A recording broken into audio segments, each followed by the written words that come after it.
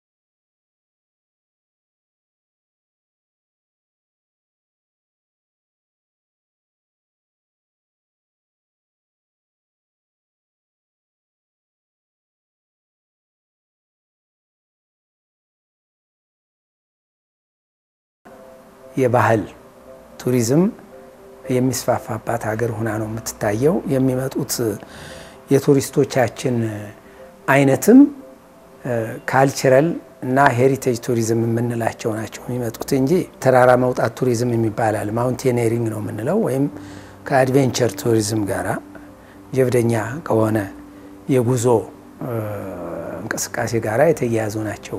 እነኝህን ተራራዎች ገመድ ይዞ ያው እኚህ ተራራ ወጪ ቱሪስቶች እንደሚያደርጉት ሁሉ ለመውጣት በጣም ከፍተኛ የማስተዋወቅ ስራ ቢሰራ ከአድዋ ተራሮች መጀመር እንችላለን።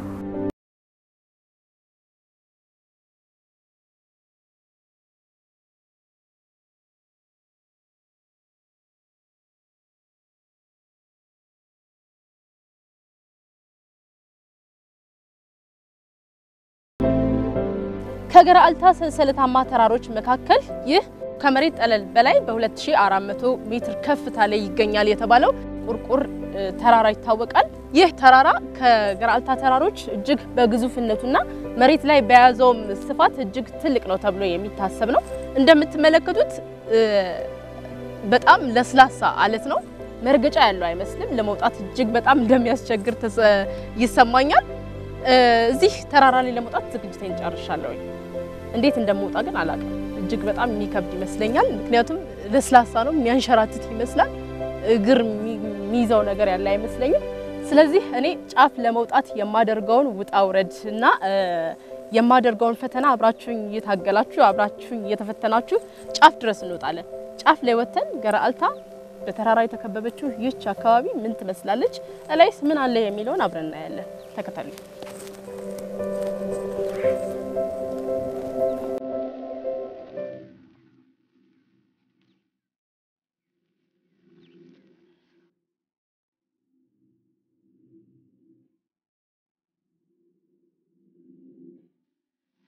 ልጀምረው ነው።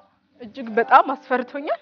ጫፍ መድረሴን በጣም ተጠራጥሬያለሁ። ምክንያቱም እስካሁን የመጣኋት ትንሽ ዳገት እንኳን እጅግ ፈትናኛለች። መጨረሻ ይኔዩት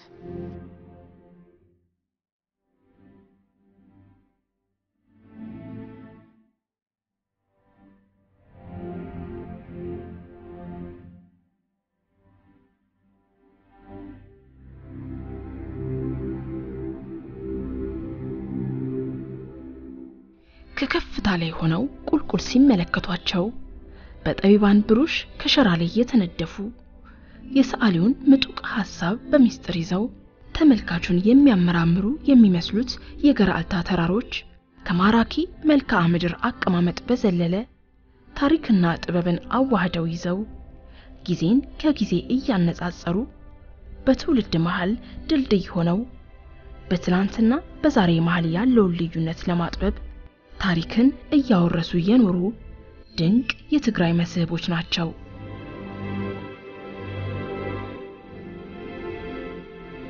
የመጀመሪያውን ከባድ ፈተና እንደምንም ተወጥቻለሁ። እኔም ጓደኞቼ ታግለን አሸንፈናል። ነገር ግን መዳረሻችን ይህ ከበስተኋላ የምትመለከቱት ትልቅ ተራራ ነው። እዚህ ተራራ ላይ ነው መድረሻችን። ይህ ተራራ ደግሞ እንዴት እንደሚፈትነን ምን እንደሚያጋጥመን ገና አላወቅንም። አብራችሁን ሁኑ። እንደገና እንሄዳለን፣ እንጓዛለን።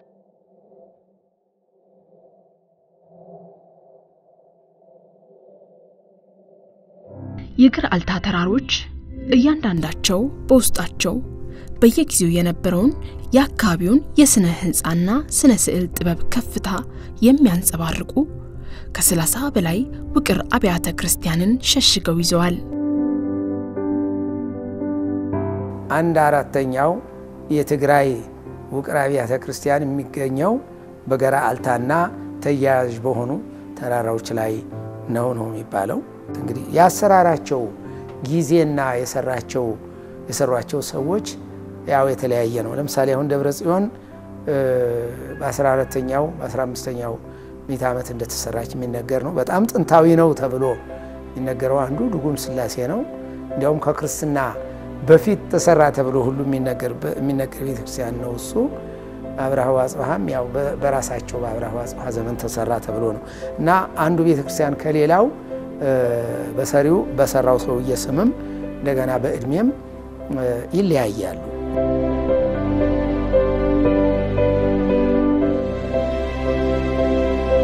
ዮሐንስ ማቁዲ፣ ደብረ ጽዮን፣ ደብረ ማርያም ቁርቁር፣ አቡነ የማታና አቡነ ገብረ ሚካኤል አብያተ ክርስቲያን ከገራልታ ተራሮች በጥቂቶቹ ውስጥ የመሸጉ በሦስቱ ገጾቻቸው ከዋናው አለት ጋር ተያይዘው የታነጹ ናቸው።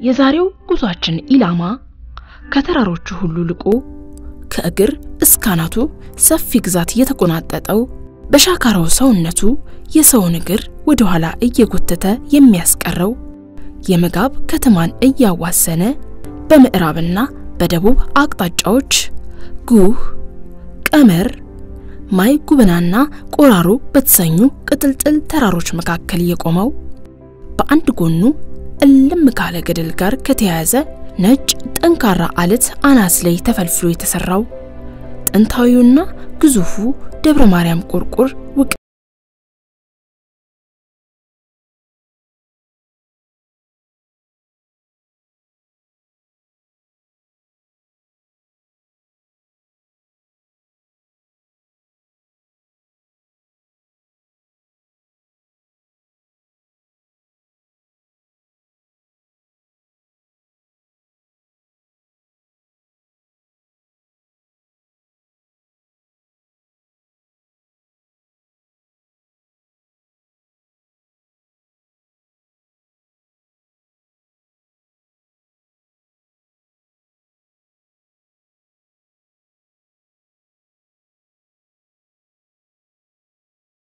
ወርደን አሁን ከመዳረሻችን ጫፍ እየደረስን ነው። እዚህ ቦታ ላይ ቆመን ከፊት ለፊታችን አቡነ የማታና አንድ ቀበሌ በሰፊው ይታየናል። ከዛ ፊት ለፊት ትይዩ ደግሞ ከመዳረሻችን ተራራ ጫፍ ላይ አንድ ታሪካዊ ቦታ ከሩቅ እየተመለከትን ነው። እዚህ ተራራ ላይ ምን አይነት ታሪክ የያዘ ቦታ ነው ያለው፣ እንዴትስ እዚህ ጋር ሊገኝ ቻለ የሚለውን አብረን እናያለን። አሁንም ገና አልደረስንም፣ ትንሽ ጉዞ ይቀረናል። አብረን እንጓዝ።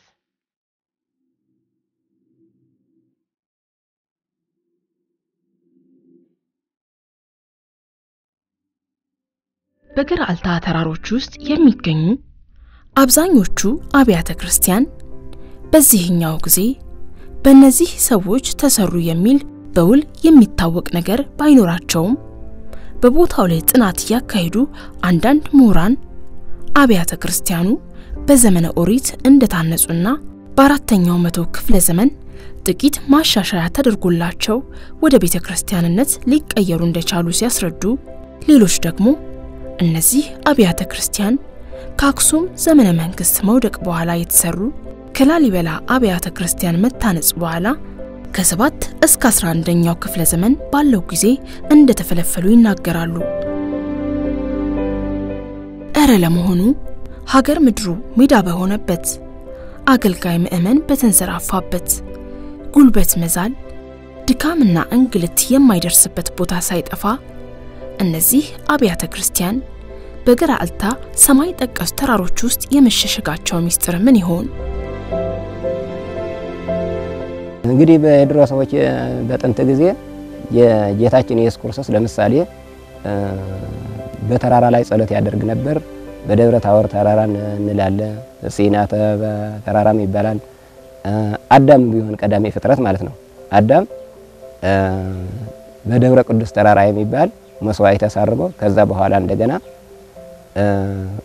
በኋለኛው ዘመን ማለት ነው ከልደተ ክርስቶስ በኋላ ያው ትንቢቱ ዝእትነ ማርያም በህሊና አምላክ ከሷ እንደሚወለድ ስለሚያውቅ የነበረ እና ቃል ኪዳን የሰጠው ለአዳም በተራራ ላይ ነው። ተራራ ላይ ኖህም ቢሆን ማይ አይህን ከዘነበ በኋላ በአራራስ ተራራ የሚባል መስዋዕት አቅርቦ ከዛ በኋላ እንደገና ለምድር በማይ አይህ እንደማላጠፋት ብሎ ቃል ኪዳን የገባለት ተራራ ላይ ነው እና ከዚህ አኳያ ነው ተራራ ሁሉ ቤተ ክርስቲያኖች የተሰሩት ተራራ ላይ የተመረጡት መንፈስ ቅዱስ ይወርድበታል ተብሎ ስለሚታሰብ የነበረ ነው።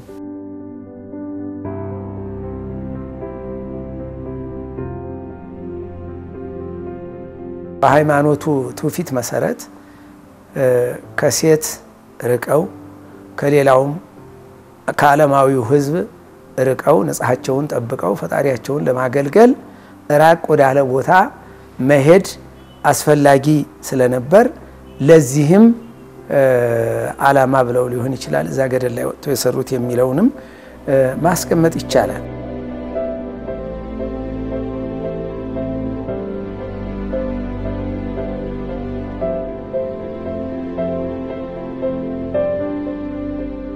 እጅግ በጣም የሚገርም ነው። ይህንን ሁሉ ጋራ፣ ይህን ሁሉ ተራራ፣ ይህን ሁሉ ፈታኝ መንገድ አቋርጠን እዚህ ከደረስን በኋላ ከተራራው ጫፍ ላይ እጅግ የሚገርም ጥንታዊ ታሪካዊ ቦታ አግኝተናል። ይህ ቦታ የብዙ ዘመናት እድሜ ያለው ነው ተብለናል። የታሪክም ቦታ ነው፣ ቤተ ክርስቲያንም ነው፣ የሃይማኖት ቦታ ነው። ወጉና ስርዓቱ በሚፈቅደው መንገድ አለባበሴን አስተካክዬ ወደ ውስጥ ዘልቃለሁ። የትም እንዳትሄዱ ጠብቁኝ።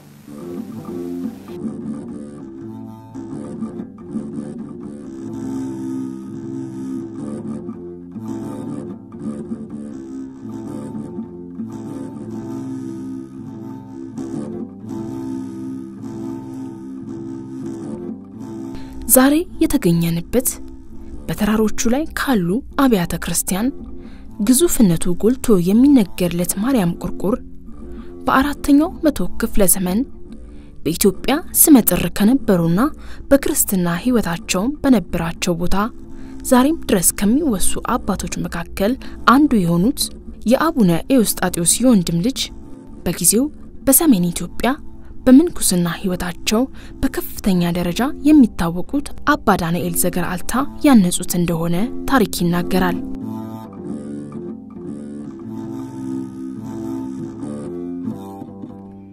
ተራራውን ጨርሰው አናቱ ላይ ከሚገኘው ከማርያም ቁርቁር ቤተ ክርስቲያን ወደ ውስጥ ሲዘልቁ ታዲያ በነጭ የኖራ ቀለም የተዋቡ ስድስት አምዶች ወይም ምሰሶዎች ተሰድረው ይጠብቆታል። እነዚህ አምዶች እርስ በእርሳቸው ሰረገላ ሰርተው በመገጣጠም ጣራውን ደግፈው የቆሙ ናቸው።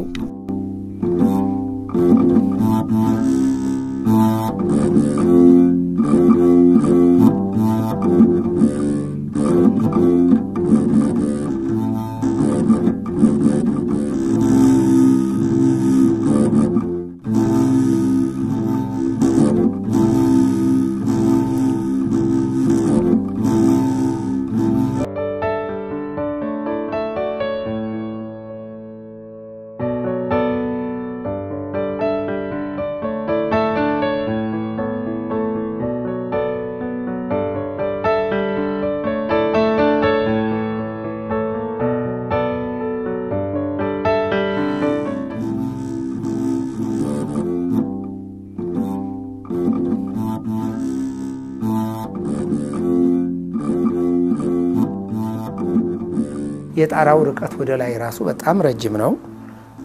የመጀመሪያው ረድፍ ያሉት ምሰሶዎች ያው ከጊዜ ብዛት ወይም በተለያየ ምክንያት ስለፈረሱባቸው የአካባቢው ሕብረተሰብና ካህናቱ የመግቢያ በር ሰርተው ያንን እነሱ የሰሩትን መግቢያ በኖራ ቀብተውት ነጭ ሆኖ ነው የሚታየው። ማርያም ቁርቁር የሰው ልጅ ጥበብ ከፈሰሰበት ጊዜን ቀድሞ ከተገኘ አስደናቂ ስነ ህንፃ በተጨማሪ በሌሎች አካባቢዎች ባልተለመደ መልኩ የምዕራባውያንን የአሳሳል ጥበብ የተላበሱ ብሉይና አዲስ ኪዳንን የሚተርኩ ከተፈጠሩበት ጊዜ አንጻር ዘመን ጨርሶ ያላዘመማቸው የቀለማት ስብጥር በሆኑ ስዕሎች የተዋበ ነው።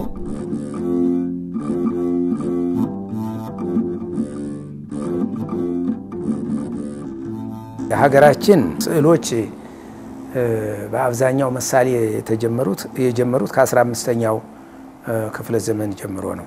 ምሳሌ አሁን እነ ገነተ ማርያምን እነ መስቀለ ክርስቶስ የሰቆጣውን የላሊበላ ውስጥ ቤተ ማርያምን እነኝህን የመሳሰሉትን በምናይበት ጊዜ ከ15ኛው ጀምሮ እስከ 17ኛውና እስከ 18ኛው የዘለቀ ነው።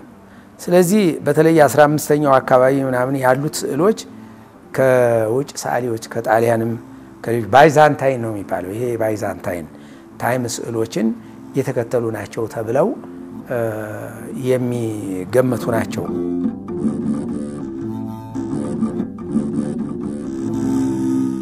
combination ኑ ራሱ አንድ አይነት ቀለም ብቻ ይጠቀማሉ የሚል የለም። የተለያየ combination የተለያዩ ቀለሞች ውህደት ተጠቅመው የሳሏቸው በመሆናቸው እስካሁን ሬጅስ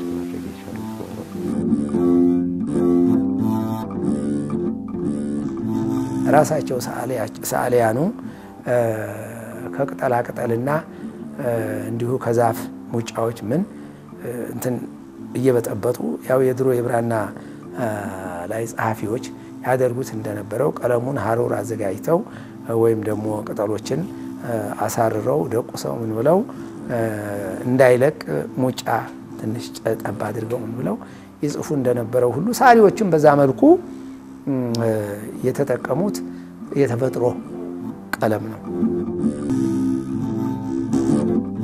ማርያም ቁርቁር ምንም እንኳን ዘመናትን ተሻግሮ እዚህ የደረሰ ዛሬም ድረስ ለእርጅና እጅ ያልሰጠ ተፈጥሯዊ ውበትን የተላበሰ መንፈሳዊና ሀገራዊ ቅርስነትን አብሮ የያዘ ቢሆንም በጊዜ ርዝማኔ በደረሰበት ጉልበት መዛል ተቆርቋሪነት በሚሰማቸው በአካባቢው ነዋሪዎችና መንፈሳዊ አባቶች አማካኝነት የቅርስ ጥበቃ ደረጃውን ባልጠበቀ መልኩ ከዋናው በር በኋላ አዲስ መግቢያ ሰርቶ በመከለልና የኖራ ቀለም በመቀባት እደሳ ተደርጎለታል።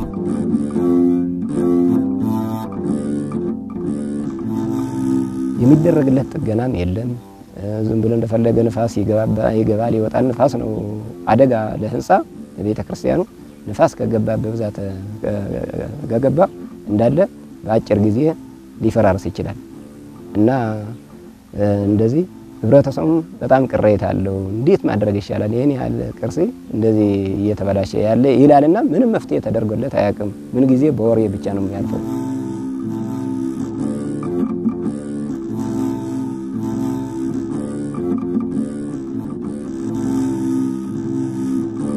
ለወደፊቱ ግን እንደዚህ በዚህ አይነት አካሄድ የምንሄድ ከሆነ ቅርሶቹ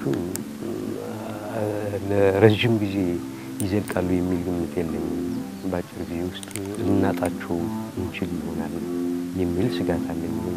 የኔም ስጋት ነው እና በተቻለ መጠን ይሄ በፌዴራል ቅርስ ጥበቃ ስር የጥገና ስራዎችን እንዲከናወን የሚደነግግ ሕግ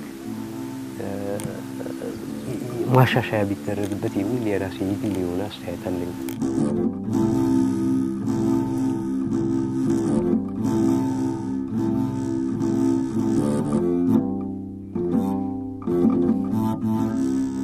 አባ ዳንኤል ዘገርአልታ ከዋናው ቤተ ክርስቲያን በተጨማሪ ከበስተጀርባው ከተራራው አናት ላይ ዳንኤል ቁርቁር የተሰኘች ባለ ሁለት ክፍል የጽሞና ወይም የጸሎት ቤት እንደነበራቸውም ይነገራል።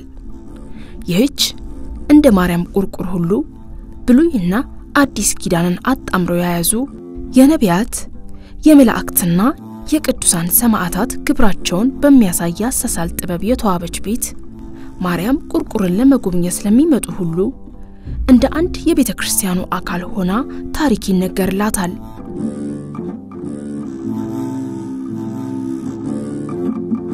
ቁርቁር ማርያም እንደ ቤተ መቅደስ ሲያገለግል፣ ያኛው ግን እንደ hermit hermitism ይሄ ምንድን ነው?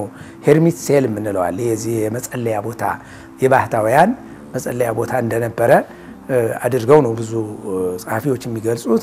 አንዳንድ ጊዜ ምናልባት እድሳት በሚደረግበት ጊዜ እንደ መቃኞ ሆኖም አገልግሎ ሊሆን ይችላል። ከውስጥ ምናልባት እናንተን አንቺን ያስገቡሽ አይመስለኝም እንጂ መቅደስ የምትመስል ከውስጥ አንዲት ነገር አለች፣ አንዲት ክፍል። ከዛ ውስጥ መንበር አለ፣ ከድንጋዩ የተሰራ መንበር አለ እና ምናልባት ለመስዋዕት ማቅረቢያነትም ይገለገሉበት እንደነበረ የሚገልጽ ነው። የማይደፈር ከሚመስለው ተራራ ጫፍ ላይ ሆኖ አፍላ ጉልበትን የሚፈትነው መንፈሳዊ ጥንካሬን የሚመዝነው ማርያም ቁርቁር በቀደሙት ዘመናት አባ ተስፋ ስላሴን በመሰሉ አባቶች የተሞላ ነበር። እነዚህ ከቤተ ክርስቲያኑ ዙሪያ ተሸንቁረው የሚታዩት ዋሻዎችም በመንፈሳዊ ሕይወት ኖረው ያለፉ አባቶች የመቃብር ስፍራዎች ናቸው። ታዲያ ስልጣኔ እንደ ዘመናችን ሃይማኖት እንደ አባቶቻችን እንዲሉ አበው የአባቶችን ፈለግ የተከተለው የአካባቢው ምዕመን ዛሬም ቁርቁር ተራራን በንብርክክ ወጥቶ መንፈሳዊ ግብሩን መከወን አላቋረጠም። ጥምቀትም እዚህ ነው የሚጠመቁት ህጻናቶቹ። የቀብር ስነ ስርዓቱም እዚህ ነው። ፍትሐ እንትን ጸሎት የሚደርስበት የሞተ በአርባም በስልሳም በሰማንያ እየተባለ ፍትሐት የሚባል አለ ማለት ነው። ጸሎት የሞተ ሰው እዚህ ነው ሁሉም ነገር የሚፈጸመው እና ቅዳሴ ብዙ ብዙ በተለያየ ቀናቶች ይገለገላል ቤተ ክርስቲያን። እየቀኑ ስብሐተ እግዚአብሔር ስብሐተ ነጋ አይስታጎልም። ማርያም ቁርቁር እንደ ሌሎች ጥንታውያን አብያተ ክርስቲያን ሁሉ ለሙዚየምነት በተዘጋጀች ጠባብ ክፍል ውስጥ ሲኖዶስን ጨምሮ የብራና መጻሕፍትና ስንክሳሮች፣ ከብርና ነሐስ የተሰሩ መስቀሎች፣ ቤተ ክርስቲያኑ የገዳምነት ማዕረግ ባገኘ ጊዜ ከአጼ ዘረ ያዕቆብ የተበረከተ የብር ዘውድና ሌሎች በርካታ ንዋየ ቅድሳት አሉት።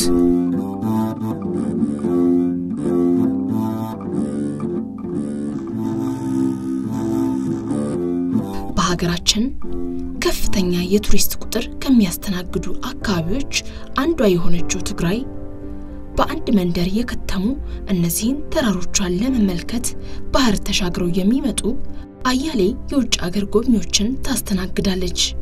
ታዲያ ቀደምት ታሪኳን፣ ተፈጥሯዊ ሀብቷን ለማየት ወደ ገርአልታ ተራሮች ብቅ ያለ እንግዳ የገርአልታ ተራሮች ትሩፋት በሆኑ አለቶች ከተሰሩ የእንግዳ ማረፊያዎችና መዝናኛዎች በአንዱ ውስጥ አረፍ ብሎ ቀድሞ በዓይኑ የተመለከተውን የአካባቢውን ምትሃታዊ ቅርሶች የኋልዮሽ ተመላልሶ በጽሞና እያሰላሰለ በዓይኑ ስላረጋገጠው የቀደምትነት እውነት ምስክርነቱን ለመስጠት ራሱን ያዘጋጃል።